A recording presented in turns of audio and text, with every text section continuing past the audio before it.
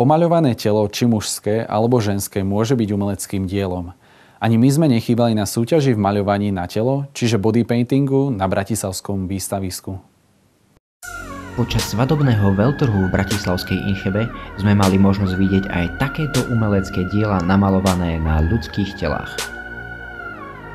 Milí diváci, pozrite sa, ako vyzerá body painting v tomto krátkom zostrihu.